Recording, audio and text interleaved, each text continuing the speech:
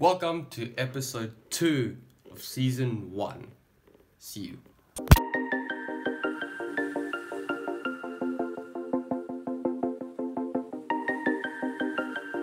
everyone, what's going on?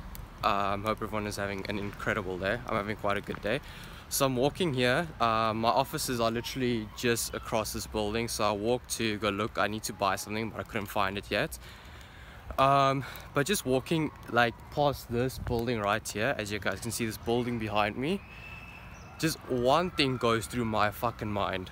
This is cash flow. This is that monthly fucking income that doesn't stop coming. I mean, take a look at this place. It starts like there and it ends all the way down there.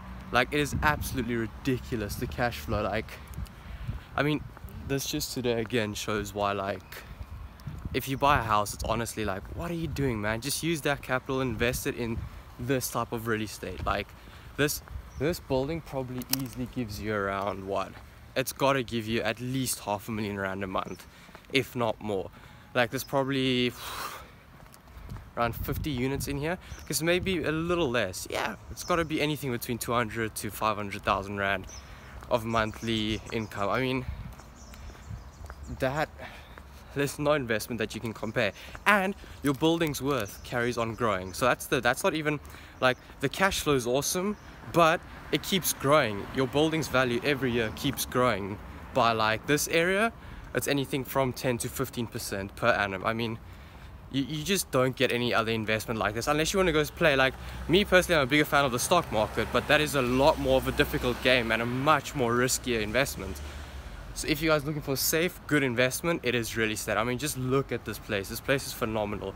Guys if you're in South Africa definitely come check us out. Century City this place so is incredible to update you guys yes of course I'm still a financial advisor work for Liberty. I actually just got home right now from the office. Still quite early it's nearly three o'clock. Um, because um, I got some stuff to do at home, some preparation to do before my meeting at 5.30. And I'll go then and I'll probably head out to my mate's place and we'll do some stupid things, maybe brainstorm together, you know, do some shit and, oh, hold on a second, watch this guys. Your boy's looking fire today. Your boy's looking fire. Jokes. What's up, everyone? Um, no, why did I say what's up? Anywho, so yeah, just to update you guys, besides for the financial advice work, I'm working on some new projects across Africa though, like Zimbabwe, Botswana, those places, involving real estate. Because um, those are fairly developing companies, I'm very optimistic about them. I'll actually, I'm going to do a whole video about why I think Africa is going to become the most successful continent. I'll also write a blog on it, but yeah guys, stay tuned, it's going to be huge. in case you guys were wondering, you know, like most of you probably know what Liberty is, like a massive insurance company very corporate style. And I literally go in with these shoes. You know what stares I get? One guy even commented I should go play basketball. But hey, I'm not in it to go play basketball. I'm in it to manage basketball players' money. Hey, thinking right there.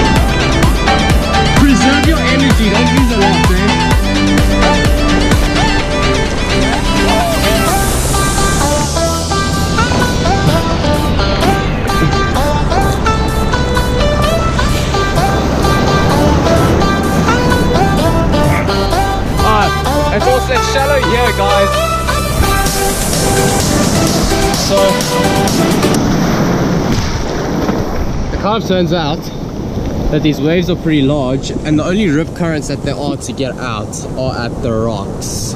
So it's like getting very difficult and like I've been here for like half an hour we and I'm kind of getting a little pissed off because I haven't caught any wave yet. Besides like a little one that I was like, you know fuck it, I'm just gonna take it. So yeah, it's been a successful day.